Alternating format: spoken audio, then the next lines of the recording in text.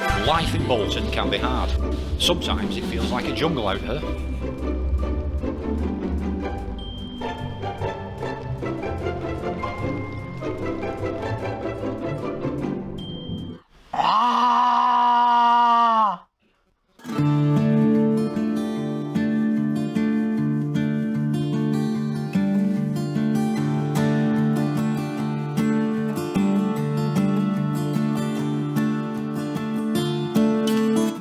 Everything I own's in there. I've got two sleeping bags in there, one for the floor and one to put over me. So you feel that you had to nick somebody's bike in front of them to ring the police, Yeah. so you'd get locked up to get the help you needed. Yeah. That's your only option. You can't get clean on the streets. What I need to try and understand is, so you're living on £34 a week.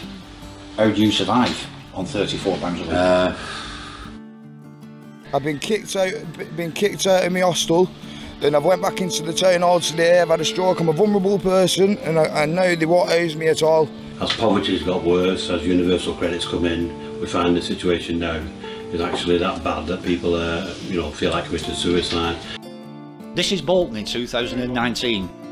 This was once a bustling market town. Now there's crushing poverty, homelessness, drug use and total isolation.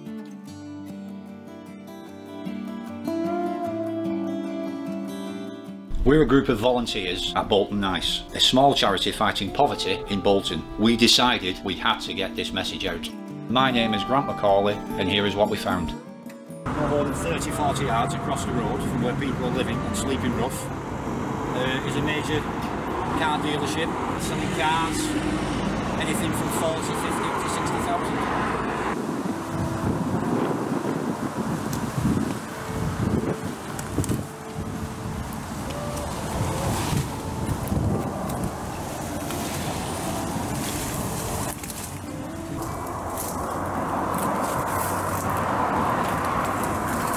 This is on what appears to be a campsite for homeless or a homeless person, or maybe more than one. Um, I just can't believe that people are actually submitted to living like this in 2019. We're on just over the back of me here, one of the busiest main roads in Bolton, which is five minutes into the town centre. But To the left of me is a rat's nest, so obviously this makes it an environmental issue totally heartbreaking that people have to resort to living in this. So what's your life like at the moment being homeless? Sorry for swearing. And um, have you have you had much trouble with the enforcement team moving you on? Every day near enough. Have you not are you not getting no nowhere with getting a flat? I'm sick of going in. Sick of going in. I feel for you, you know, I used to be homeless as well and No, I'm, I know you. it's hard it's hard working isn't it? Have heard about the food bank at Bolton Community Centre? Bolton's Community Centre. Oh yeah? Have you not heard about it? No. That's what we're doing. Which one? Do you know? Oh yeah, yeah, I've heard about that one. I could see that one as well on uh, Friday morning. Yeah. We do um we do every other day but Friday, twelve till one and you can get as much food as you want. Sandwiches, cooked food, welcome to come. anytime next week. Thank you, thank you for that.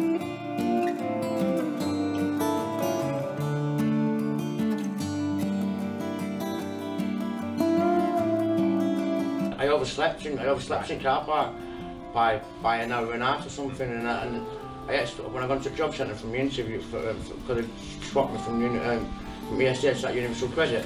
When I when I when I explained to them, look, I'm homeless, this, that, and whatever, they went went tough basically. I forgot what it's like sleeping in a nice bed. You know what I mean? I've forgot what it's what it feels like. Just lie down properly in a bed and not without having a bad back. It's like the other week in car park on top way one though. I was fast asleep and some, someone just come along and volleyed me in my head for no reason. You know, I didn't, I didn't, I didn't deserve So that. you suffer, you suffer yeah, yeah, attacks yeah, well? yeah, yeah, yeah, yeah, I've I've been attacked, yeah, I didn't. Regularly? Or Not regularly, like, No. but you know, it's only happened twice, but I didn't, I didn't deserve that. I, I didn't do nothing wrong. I mean, just just because I was sleeping, and then what, what gives that, what gives the right to that lad to kick me in the head? He didn't have the right to do that. You know what I mean? I could have, I could have, I, I, I could have got up and started fighting back with him, but then I thought, and then if I, if I would done that, then I would have gone back to jail for, for a long time. You know what I mean? And I can't be bothered going back to jail. I've been going to jail since 1995. Me, and I've had enough of it.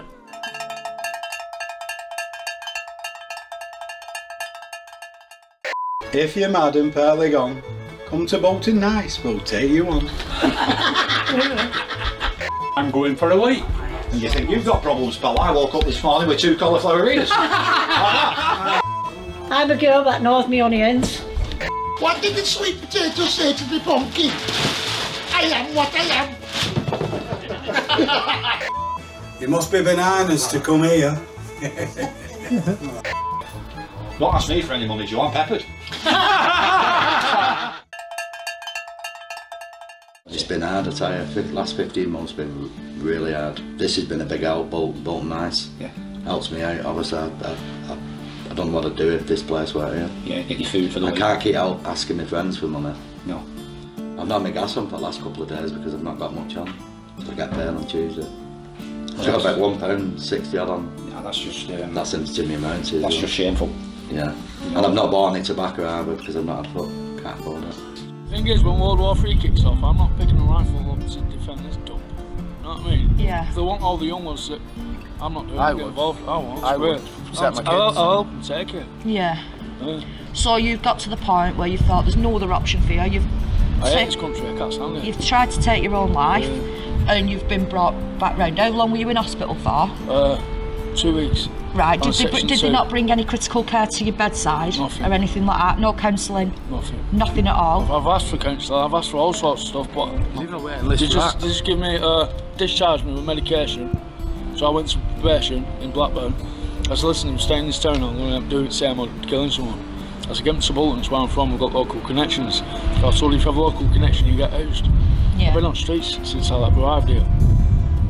People aren't getting no help. They ain't helping nobody in Bolton, they ain't helping nobody in this, in this country. Eventually get back on my feet. Uh, car, an holiday. Uh, find somebody decent, a woman. I've been coming here with to, uh, with these, with, helping out with these guys, and because of this build up a little bit more. And like I said, I would like to get back into work because I used to do caring as well on people. I were at a point me where I was just lucky to wake up every day. And some days I'm still the same. I don't have massive, you know, I don't want this, I don't want to care, I don't want millions of pounds, I just want just to get back to normal life. I just fell out with my girlfriend yesterday. I've only had her about five weeks and uh, oh, I think it's over now. so that's life, isn't it? With help from ex-Corrie star Nigel Pivaro, we came up with a plan to get some publicity. We decided to reenact the penny hang. The penny hang was how people dealt with homelessness a hundred years ago. This was our rehearsal. We set up a washing line for people to sleep on like they did back then. It cost one old penny and the coffin was extra. It's not so, so long since there were people who, who did sleep in a town centre, but now the laws changed and people actually sitting down in the wrong area, sleeping in the wrong area, trying to beg food, uh, money for food or trying to beg food, actually could be arrested and, and taken away to uh, Manchester somewhere. They've made it a crime to survive. Right, really. And there's many people out surviving. And, That's uh, right, yeah. There's more not making it as what do. The biggest difficulty is you've got people who want to commit suicide as well. They're actually they've had enough, Yeah. and there is people who've done it. We had a lad last year, last year who actually uh, was refused help, and then a a day later was found dead on the town hall steps at Bolton. Yeah. And I was still going out in Bolton, talking to people and listening to their stories. Yeah, we've come for a walk today, uh, just off Church Bank.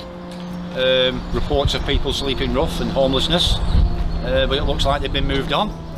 But uh, if I move over here, you'll be able to see there's a sign that says please dispose of your syringes in a sensible manner. Do not just throw them on the floor, you are putting people and children at risk.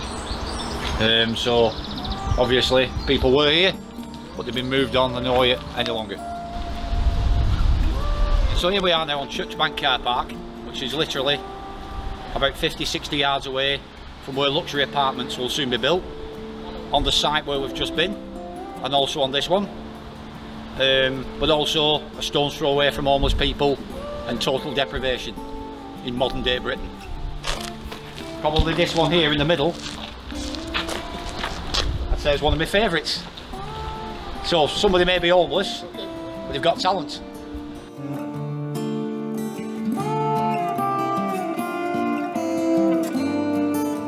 We've been formed for five years and we support um, a range of families um, through poverty, through different reasons, through uh, mental health, through having uh, benefits court, things like that. Um, people that have like fled domestic abuse. I came into the Horwich Club because um, my partner had severe mental health issues and then um, what happened was he didn't make his appointments on time so then they sanctioned his benefits. Right. He's now got to go through an appeal process and with that appeal process they said it can take up to six months. So he's relying on help from food banks and things and he's actually looking at um, losing his flat due to all of his benefits being cut. So in my opinion I feel the system has massively failed these people and then they have to rely on Yeah. charities and food Exactly, banks and yeah, things. yeah. We've seen a massive increase every single year and it's probably at its highest right now. in the multi-storey car park, um, just a couple of minutes outside there, and as you can see, there's uh, quite an assortment of uh, items on the floor. Uh, somebody's been sleeping rough here, um, drug use, um, disregarded syringes, um, some sort of tablets that they've been taking, I'm not sure what they are.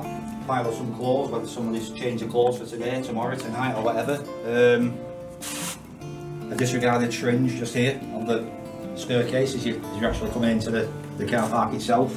Somebody has been sleeping here. Looks like they've moved them on yet again. Definitely happening all around us, folks. That's for sure. Loads of people have been contributing to this film, and Azzy's been working on his rap. I woke up this morning and I didn't feel right. I turned on the TV to get some light. on the curtains, I'll go outside. I can't feel right, and that's my crap. Bailey's at the door, I can't take no more. No, that's a job since 1994. Don't call it me hopeless They don't like using the human race. No food in the flat. Yeah. Can't afford to feed the cat. I've lost my family. And now I'm losing my home. We're in to feed the needy, not the greedy. What's the price? Be nice. Back in the day, me, Azzy and Wayne went drinking round here, and now look what's happened to it. Looking down and looking up, all, all the pubs and clubs have shut, or been let to close, gone to wreck and ruin. Particularly this one over here, and people are suffering for it. All for what? Corporate greed, local and, and private developers to build luxury apartments and flats. Nothing, no social housing, all the private sector. A crying shame, and it's all the way up and all the way around. It's happening every day. I used to come drink here, meet my friends, Azzy, Wayne, lots of people, 15, 20, 30 of us would meet up in there, go for a walk around town, go for a drink before you got your taxi home or walk home. Can't do it now because everything's gone. And people now are suffering isolation and loneliness, depression, anxiety and everything else because they can't meet their friends because these places are shut, they've gone. 50, 60 yards over the back of there, you've got homeless people living in tents and makeshifts. Terrible, absolutely terrible, heartbreaking.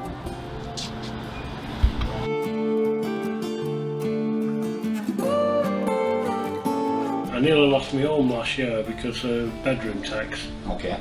They were chasing me for 300 and odd pound bedroom tax. That's more than what I get a month. Right.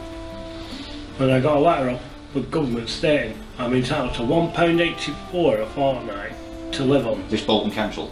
Yeah, I'd like to see them live on £1.84 and pay the gas, the electric and everything else, water rates. I'm on the breadline, but really from day to day I'm wondering where my next meal's coming from. Okay.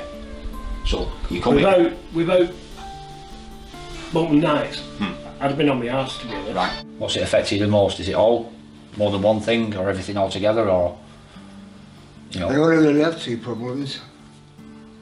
Health and poverty. Health and poverty. My health is zip. Right. I've got a lot of things on with me. I get no help whatsoever getting it sorted out. Nothing. And poverty. So why do you why do you not why do you not get the help? So I don't get no help. I mean, I've been up sick over eight years. yeah, but the sys- the system, right? It doesn't work. I get nothing off my doctor. You know. You're screaming. well, you asking if he even knows my name. Right. He can't say my name. Last, last time I a payment, a note payment. I can't remember last time I had one. I look like, no offence to everybody who comes here. Right. I love to help them, but no offence to people who come here, but it's so bad. They have to come here. I agree. They ain't getting no help. It's not as if they've got thousands in bank to spend it all on beer or what. My wife said to me, she said, what we're we doing now? I said, well, we're delivering a bed to someone who really need it. She said, it's Boxing Day. I said, it might be Boxing Day to you, but to Yeah, the charity, to yeah, the charity, someone needs a bed. It's a lot more than the food bank. Yeah. Because obviously you've got clothes, furniture, Yeah. but it's not just that, it's the skills, the people, and the volunteers. In a lot of charities, you, you get someone gets a little job and you get, you know, you've got this little title, you know, you're the chief exec, you're a deputy chief exec, you're a manager, you, you know, you're this, and they go in and they get the job and then they've got it, then they're, they're, they're trying to do the job, but our people have come from the bottom. Our Yeah. people actually been there, Yeah. they've had problems themselves, Yeah. and they know exactly when someone walks that door, Yeah. what it's like. There's 30 volunteers and people coming, people going, people actually have found that, they found a little job, they found a life. Yeah. We then went out to reenact the penny hang. We were asking people if they thought things had got better or worse in the last hundred years. I think it has changed. I think it's got worse. Really? I think it's got worse. We've gone, in, we're going into a society where we always try to put a better life for our children. It's going backwards. It's going backwards because this hasn't changed at all. It's gone brilliantly. A lot of people didn't know anything about the penny hanging. Now we've explained, the under, they know where the saying comes from. Obviously, a lot of people didn't realise how, how bad it was. And I spoke to loads of people that are struggling with the benefits or they've had them stopped. It's really sad, you know. And the leaflet's going well. Lots of people are interested. Um, just noticed that round the corner where there was a perfectly good footpath, the council's tore it up and they're putting a new one down just to make it look nice. I'm sure they could put that money together, you know, towards housing and finding somewhere for the people that are on the streets to stay in the evenings. It's coming winter now. It's dreadful. a lot of people doesn't know you know but this is quite an awareness that uh, in 1800 like people were paying a penny to sleep on a line but it's i don't think anything's changed now people actually it's gone worse because people don't get anything and they sleep on the road and payments and uh, they find a place where to sleep safely the problem is not getting solved and it's getting worse and worse and worse you know that's what i think uh, I hope the things gets better, but I think it's going to take a very long time. We then asked this homeless person if he'd rather to prefer sleeping on the line as opposed to sleeping on the street, and he said he'd rather sleep on the line. Yeah, I'd be happy. Yeah, I'd yeah. be laughing at that. Yeah. All right. It's uncomfortable. I think if you stayed like this for a while, your back would hurt. Yeah, it's quite uncomfortable. Probably comfier than sleeping on the floor though. It's gone quite well. Been a positive response from the people of Bolton. Uh, and we've had quite a few people actually asking questions and uh, offering help. And I think just the raising awareness bits really help because people are walking past and trying to avoid us and then once, once they realise what we're doing they, they actually start talking and start telling us about their own experiences. And we ended up getting a fair bit of media coverage. So I suppose, in the end, we succeeded in doing what we set out to do, which was raise awareness to what's going on. Job done. I was at rock bottom the last two year and then coming here's lifted me up and uh, back up and running. So I'll be back in work soon so it's all good. Fantastic. And good group of people and all that. If it worked for Bolton Nice, I don't know what I'd have done.